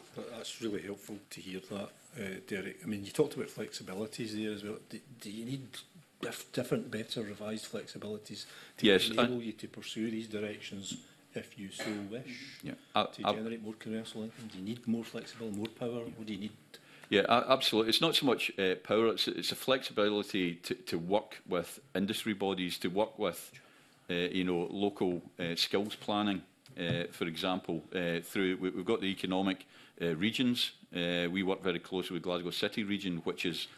although it's got the word Glasgow and it's much wider than Glasgow, it's you know, North Lanarkshire, South Lanarkshire, I think there's eight local authorities involved in there. Uh, looking at uh, those needs and alignments. The other things we have, we have multiple streams of funding. I mentioned Skills Development Scotland. Eh, eh, modern apprenticeships enormously eh, important. In my own college, we, we have at any one time 900 apprentices receiving training at any one time. Uh, we have, uh, you know, national specialisms, and uh, as far as that's concerned, that is funded through Skills Development Scotland through a completely different stream. Viring across, for example, prioritising the, need is very, very challenging as far as that's concerned. So a streamlined approach, flexibility um, uh, as far as that's concerned. And again, to work in partnership with industry bodies, is there methodologies that we can do that we can actually match fund, for example, and encourage industry looking to, to increase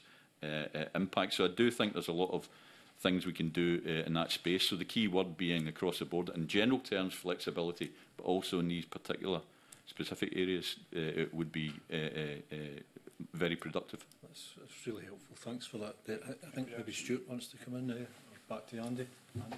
Uh, yeah, just very briefly, if that's a... Uh, uh, thank, thank. Yeah, so the... Um, you, you talk about flexibilities there, and um, the, the, the colleges have been offered a number of flexibilities uh, in this year.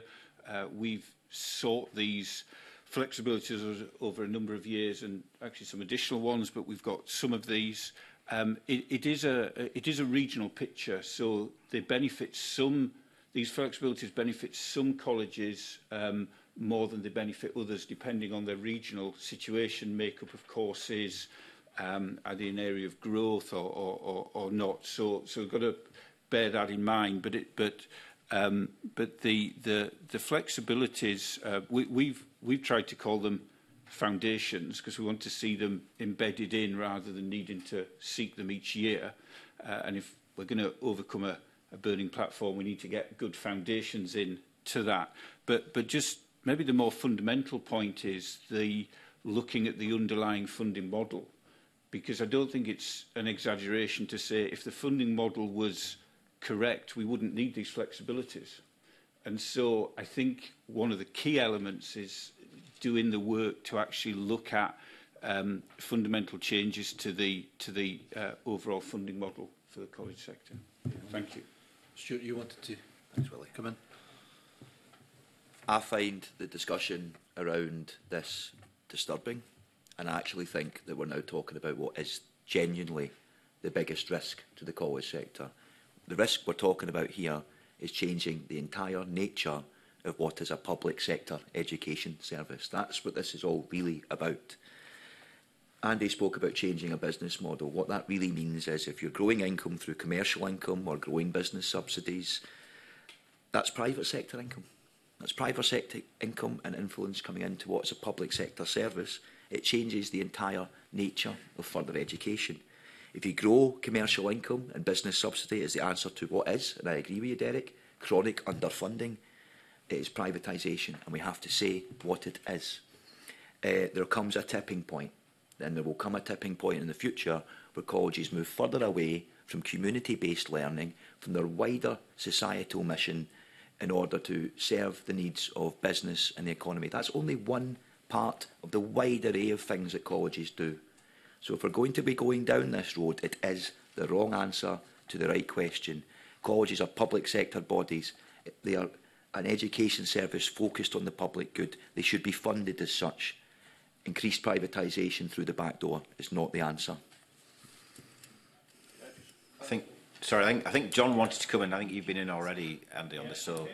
and Ellie wants to come in. So maybe so, John then Ellie. Yes, uh, thanks very much. It was just to kind of pick up on Stuart's point there, and certainly in, in Unison's point of view, this could potentially lead um, the Scottish Government to a similar situation where they were in during the pandemic with social care but essentially they needed certain things done in certain ways for certain reasons and did not have the control anymore because social care had been outsourced, even you know to charities, etc., not just private companies, and they did not have the control to get what they needed. And I think that we are in, genu in, in genuine risk in further education, where we are going to be, for economic reasons, relying on colleges to deliver certain things at certain times in order to meet, you know, whatever aims are in place at that point.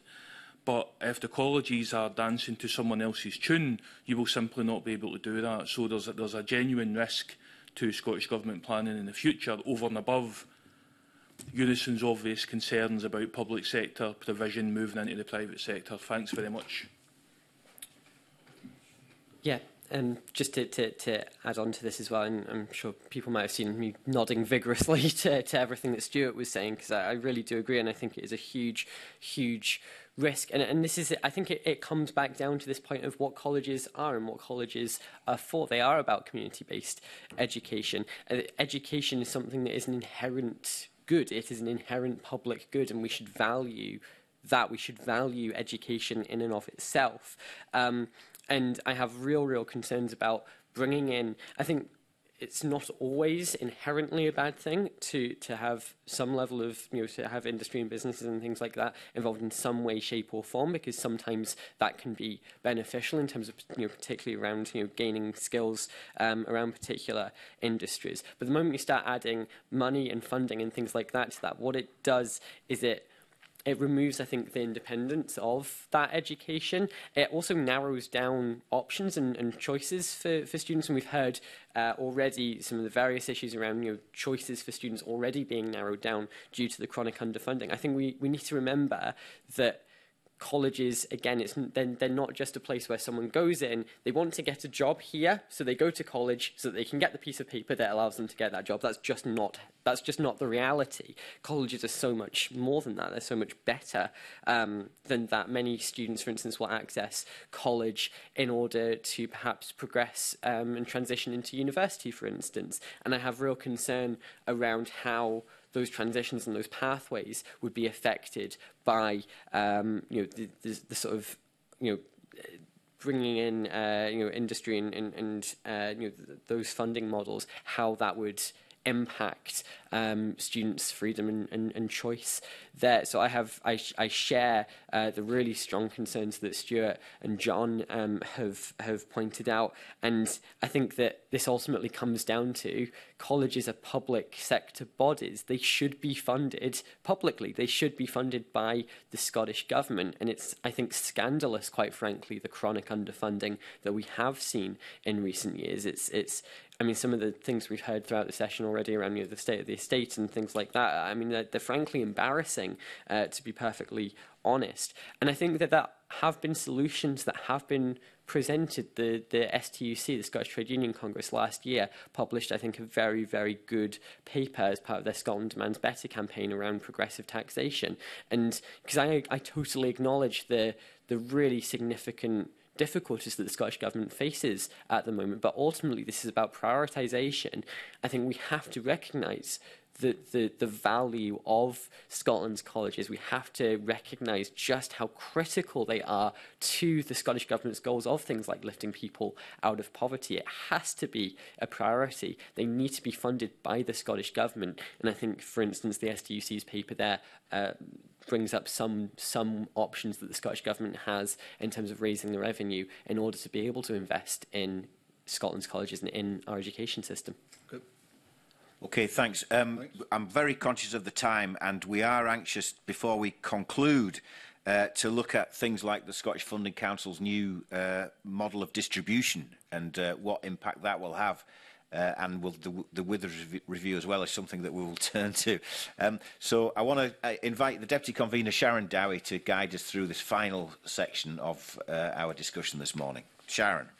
Thank you. Can I start by asking your views on the Scottish Funding Council's new funding distribution model and the extent that it provides colleges more flexibility and more opportunity to decide how best to respond to local, regional and national needs? And let's start with Eric. Um, I appreciate that's the title of a document. Uh, there is no new funding model. There has been adjustments to an existing funding model, and they have been very, very minor. They are very welcome. So uh, I, will say that uh, our interaction with uh, both Scottish Funding Council and Scottish Government uh, colleagues, uh, we, we are, have been listened to. Uh, we've had discussions, but these are purely short-term um, responses to requests. Andy was mentioned about uh, an ongoing request for flexibility. We were more talking about a future model, a long-term model within that. But yes, we have been uh, offered, uh, sometimes I would say at the 11th hour, uh, sometimes in the middle of a year that's already active, sometimes retrospectively. But again, I'm not complaining about that. The fact that they've happened is a, is a positive uh, point and there have been uh, some movement. But I have to clarify that these are very small um, and um, immediate responses, uh, and they're, they're certainly not a reshaping of an overall funding model, which is absolutely essential moving forward. And we need to be in dialogue now because it takes time to look at that because we are talking about a, a new, and I know the Scottish Government have committed to a new funding model for post uh, school education, which I, I welcome in that, and that's something we should be looking at and the here and now and start to develop uh, moving forward. But yes, there, are, there have been some movements and some flexibilities that are welcome, but they certainly do not change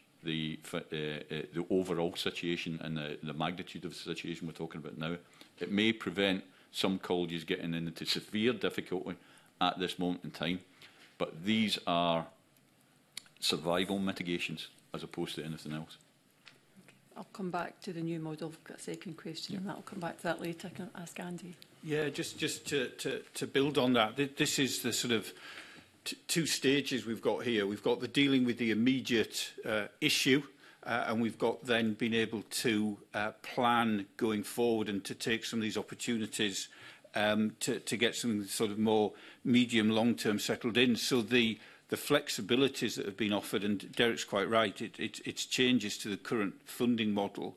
Um, we've uh, gained those, uh, as I say, different different colleges that, that, that they're, they're more beneficial to some regional colleges than others, um, but they are there and they have helped in general um, to, to deal with the immediate situation we're in uh, around some of the flexibilities they've they've offered there. But as, as I mentioned earlier, the, the, the fundamental question is actually to look at the funding model itself, which is sort of more medium term, as, as, as Derek's saying, but we want to see that come in uh, in the sort of uh, first academic year it possibly can. So we're keen to see those conversations develop uh, as quickly as possible on the, a new funding model. Thanks. Do you want to come in just now, Stuart? Um, let me just find. So, I agree with what Derek's saying, uh, and I actually think what Derek said about this new funding model, of, I, I don't believe it is a funding model, says is concerning because it's just a sticking plaster to the overall situation of chronically poor funding. It's been hard for unions, I'm sure John's in the same position, to actually find out concrete details around this because we don't have regular meetings with the SFC. Um, ehm, but you know the specifics of it, like rebasing credit allocations, well, that's either positive or negative depending on who you ask, and I've had different answers from different colleges on that one. Um, the Scottish Government supported that that's a positive thing that the sector wanted, but I've had several principals tell me they didn't want it. Um, and I don't think it's clear what significant impact there is in terms of the serious financial challenges in ensuring that 20% of college funding is not directly linked to credits. I, I'm not sure what that does either, to be honest. Um, It's a sticking plaster at best or eh, at worst what Derek has outlined. Right, I think I'll move on to my second question straight away then, and then I can bring it. If you get any comments in the first question, you can bring them in after the second one, in the interest of time. Um, so The Scottish Government plans to take over national responsibility for skills planning and to establish a new national model of public funding for all colleges, universities, apprenticeships and training. So if you could tell me the extent to which these changes will help address some of the challenges facing the ecology sector. And just on that, if you can tell me maybe the, if you think the pace is quick enough. So it's something that I think everybody's been thinking of for quite a wee while. I'm quite sure everybody will already have thought of what model we actually need. So given the, the issues that you've already raised during this session, are we using are we moving at a quick enough pace? And I'll maybe bring in Stuart first, just because his comment earlier on had said it was the wrong answer to the right question, which I... I said the majority of the Withers uh, report is the wrong answer to the right question. Yeah. The Scottish Government taking over responsibility for skills planning, I don't think is in of itself anything really new. The strategic responsibility for college education has always sat with the Scottish Government, so that's not new. What's new is the language around skills, and that concerns um, the EIS from an educational perspective. If unchecked, the language around skills could lead to a narrowing of the curriculum, and Ellie mentioned that earlier. Colleges do deliver schools, but they also provide learning pathways and provide learning opportunities for a wide cross section of society.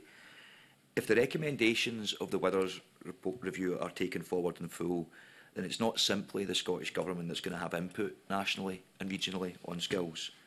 Um, businesses are going to be in there, and that is one of the key recommendations at national and regional level, there are businesses in the Scottish Government that are effectively defining the college curriculum.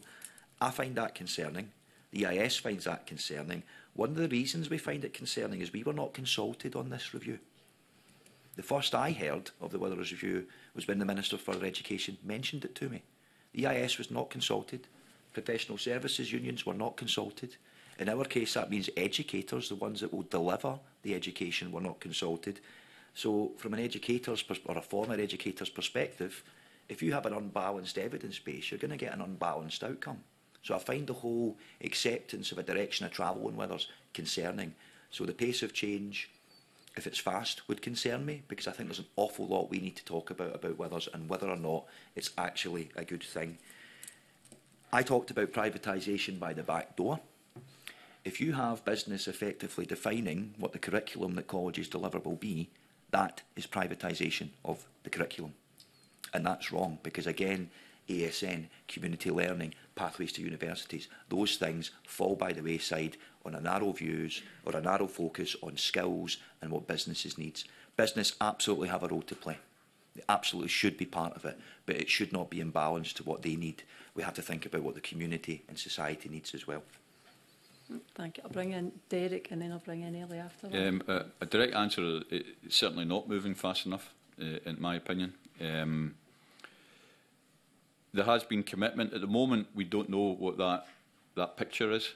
Um, so, for example, am I in favour of moving forward in a, a, a new um, tertiary, whatever terminology, tertiary education or post-school uh, um, education funding? uh, model, yes, absolutely, I'm in favour of it. It needs completely over overhauling. Uh, as a college sector, are we in favour of moving to a single body, for example? If it's done correctly, in, in the vision that we would have, then yes, um, uh, moving forward. There's a little bit of a paradox within the Withers uh, review uh, because it talks on one hand about central responsibility of the, the government, but also talks about regionalisation. That is something that needs to be clarified moving forward. You know, colleges have a, a view uh, on that. We do think it can work. Uh, the high level strategic direction. Uh, and Stuart's right, obviously, ultimately, the responsibility is with uh, ministers as far as skills are concerned. Um, however, I do think there needs to be a, a step change and there needs to be more strategic direction that is directly. So I, I would uh, support that. However, this paradox between the regional element of it needs to be uh, resolved. And again, that's why colleges want to be in amongst that, that conversation.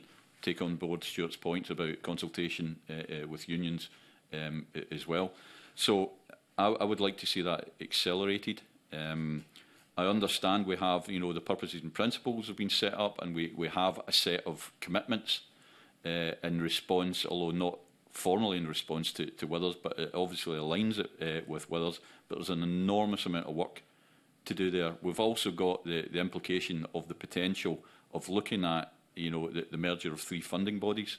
That is going to take significant time. That's an extremely complex thing to, to do. We can't wait for that, in my opinion, uh, and an opinion of uh, uh, uh, principles uh, going forward. So I welcome the fact that that's been uh, stated by the Scottish Government, uh, by the Minister, but I'm not convinced that the realistic timescale is is they're, they're cognizant of that. I think that's something that needs to be driven forward. I can't comment on the new because I've seen absolutely nothing that describes what this new uh, uh, framework would be, other than it would be for all education, training, uh, and skills.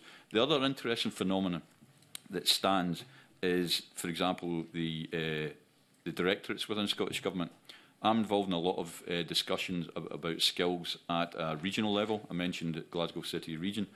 Uh, and again, it's reporting through uh, economic development. Does it report through economic development? Does it report for lifelong learning and skills? This is a phenomenon that I think is, needs to occupy the Scottish Government and ministers going forward. Um, can directorates work together? I'm absolutely uh, sure they, they can, but as uh, a person and as a group and as a sector uh, feeding into that, I'm a little bit unsure of those those pathways because quite clearly Stuart was pointing out about okay we've got a, an economic need here we are still educationalists uh, uh, within that I don't think I'm not quite so concerned but I can understand uh, uh Stuart's uh, uh, points in there because I think we can uh, balance these these needs and, and these demands but we do need a, a, an element of clarity going forward between that economic development piece and lifelong learning and uh, skills. Were you involved in the review in any way? Were you consulted on it? Oh, oh, no, not other than, well, uh, as uh, uh, groups of principals feeding back to James Withers, for example, uh, visits to colleges, uh, etc., as he was gathering uh, evidence, that, that is the, the involvement uh, providing information. Okay, thank you. Ailey. Yeah, uh, once again, um, you may have seen me nodding uh, along to, to, to what Stuart was saying. Um, I do find it concerning um, some of the narratives in that review, and again, we weren't consulted um, on that.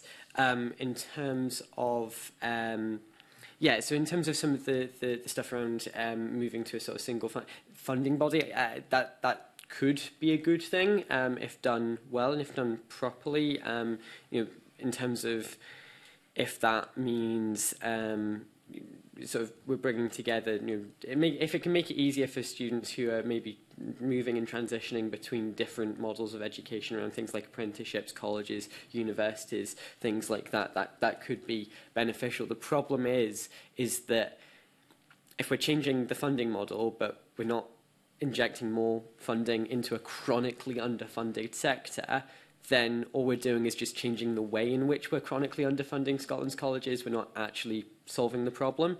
Um, and I think this is the issue here. This, uh, we're not inherently opposed to, to these reforms, and like I say, they could be they could be good in terms of some of the stuff around moving to um, you know a single funding body, um, the stuff around. Um, around uh, you know, sort of private sector coming in and business uh, influence and things like that, that is very, very concerning. Um, but like I say, we, this, this can't be something that just happens um, without without injecting more money because the fundamental problem here, the issue that underlies all of the challenges that we've spoken about during this session, is that Scotland's colleges have been chronically underfunded for an extended period of time. And the only way that we're going to fix that problem is by the Scottish government stopping, you know, stopping underfunding them and, and starting to fund them properly. Um, in terms of some of the narratives around sort of skills, again, not inherently bad, but a concern around how that can lead to sort of an almost more transactional education model, and, and, and that worries me as well. Um, you know, this sort of uh, idea of okay, you go and you do this course and you get this skill, and then that's that's you. I think again, if we're looking at uh, the skills and the, the education that students are receiving from any method of education, like I say, whether that is college, apprenticeship, on the job training, university, then that if we're looking at that more cohesively, then that is a good thing. But I have real concerns around making our education system more transactional and around the influences that certain groups and certain businesses, certain organizations, etc., might then be having that removes the independence and removes the flexibility of that education system for students. Good. thank you. Andy?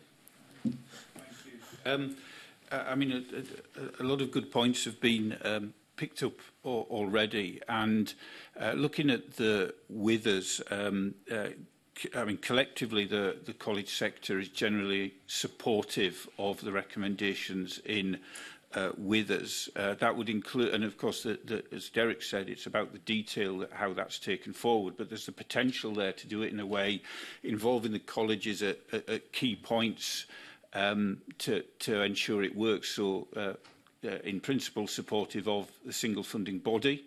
Uh, we need to make a clear distinction that is not the same as a funding model. They're two different things, um, but uh, supportive of that. Supportive of taking um, skills planning back uh, into government. We see advantages, potential advantages uh, of that. What it is starting to create already is a sort of conversation cross-portfolio in government, and I think that's healthy, about uh, how colleges can help deliver on some of the policy drivers of, of other parts of Scottish Government that isn't directly educational. Uh, um, so training of, of certain NHS staff and, and delivering um, wins there uh, and, and then really utilising colleges uh, as a public asset. I think that's very beneficial. Um, it, it is key for the, for the economy. Uh, there are, in certain parts of Scotland, the principal of the college now chairs the local regional economic partnership, and I think that's uh, good relationships to start developing. But as we said earlier, colleges are about the social side and the community side as well, so it's not just the economic side. Uh, and the reality is that we do need to remember that not every single learner in a college will – even if they're successful, bring direct economic benefit. It's about a journey that each individual learner travels, and there can be benefit for that individual, even if they don't bring direct economic benefit. We mustn't forget those learners in the economic conversation. Um, but the, the, the, the economic side uh, is, is important. And, and just one last point to pick up. I mean, um, colleges have always engaged with businesses in looking at curriculum development, for example, um, in relation to making sure that people that come through a particular course are work ready, or you might get approached by uh, a company that is looking for a thousand apprenticeships in something. So there's always been that engagement um, with business, and I think that's uh, an important relationship to ensure that people come out um, those that are able to be to be work ready. So just to just to clarify that point. Thank you. Thank you. John, you want to make any comments? No, I think that I agree with lots that's been said by Stuart and Ellie earlier on. I think the only real point that was in my head was to point out that while we're talking about moving to a single organisation, that we have unison members affected on all sides of this proposal, you know, Skills Development Scotland, etc. And I know there are concerns on that side. Now, clearly coming from further education, to be honest, committee, I'm not well placed to speak to that, but I think it's worth Bill just signposting that, that there is concerns from different areas, different sides of this proposal. Thank you. Okay, thank you very much. Um, we uh, we kind of at the end, but I know Graeme Simpson's got in the last couple of minutes we've got left. Graeme's got a very uh, specific question that he wants to raise. So over to you, Graeme.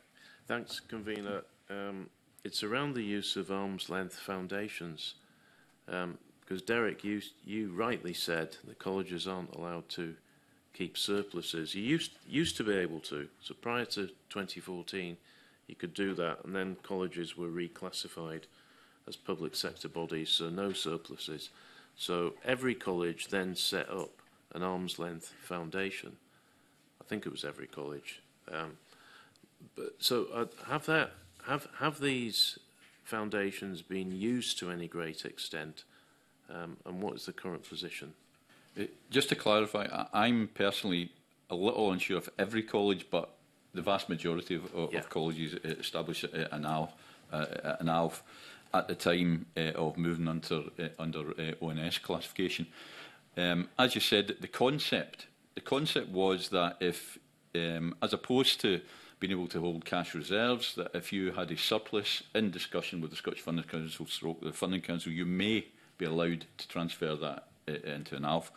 To be honest, in the last five to ten years, I'm unaware of many colleges that have made sufficient surplus that they would be able to put any a penny into their ALF.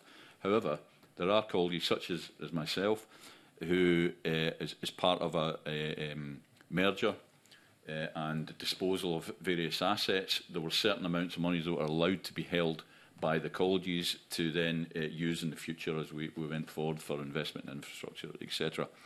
Uh, I can speak for example, in my own college, we do have a, a modest uh, alpha mount.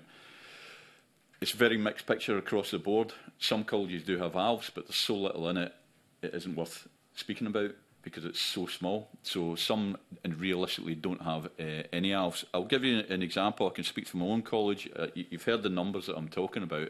Part of our uh, uh plan, and three-year plan, is we will, uh, in the, to all intents and purposes, exhaust the remnants of the remaining money in our ALF by the end of year three. Oh, okay. What we will be using that money for, uh, uh, we won't be using it directly, for example, for severance uh, uh, uh, uh payments, because that's not something that we, we, can do.